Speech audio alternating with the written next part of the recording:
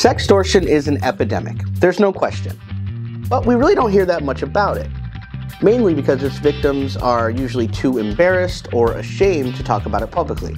Until now. Today we'll be hearing from a survivor of sextortion. We're going to learn how it started, what happened to them, and most importantly, what they did to fix it. Now, this person has requested to remain anonymous, and we're going to honor that. Without further ado, here's their story. You know, the good thing about DFC2 has been that this was a few this was a few months ago that this happened.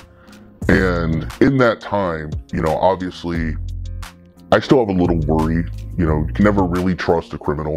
Did they really delete my content? Uh, it's hard to say. Um, I believe they did, but just in case, you know, for peace of mind, uh, I did take advantage of a, a secondary sort of uh, phase, phase two, they call it, uh, that DFC offers. And in that, they're, they're monitoring my online presence, they're monitoring my accounts, they're kind of uh, staying in my back pocket so that uh, should this person come back or should something else happen to me, uh, I got them right there, uh, like an insurance card, you know? You hope you never need it, but I'm so glad I have it.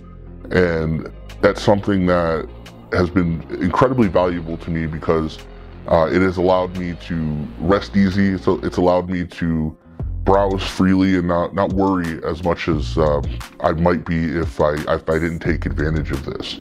Phase two isn't always recommended, but it is something that we offer to all of our clients.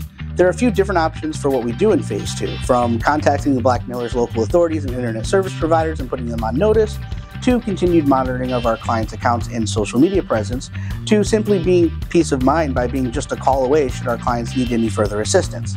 Phase two is an added benefit that gives our clients much needed relief in what might otherwise be a very anxious and difficult time in their lives. And that's been really nice. Uh, I don't know any other, you know, company that would back up this sort of, I guess, service the way they have.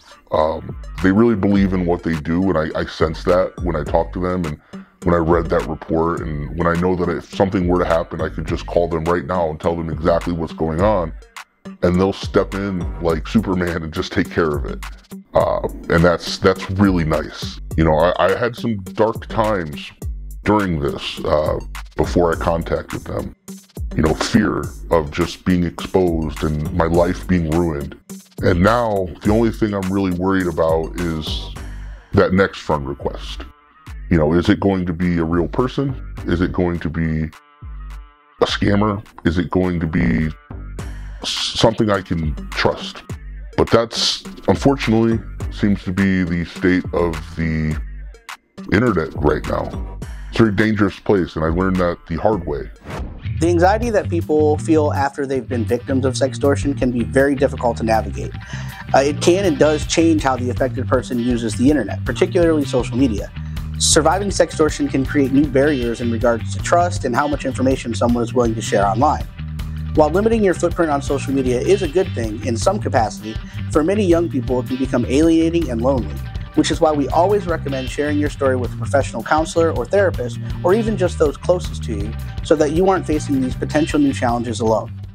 But I do take a lot of solace in knowing that there are companies out there like DFC that are on the front line really combating this sort of, I don't know, criminality. Um, it's it's nice to know that I'm not alone, even when I feel the most vulnerable and alone. I just wish I would have called them sooner because it would have saved me uh, a lot of money and a lot of grief. But if I can give any advice to anyone that's listened to my story, it's that you didn't do anything wrong. You were tricked.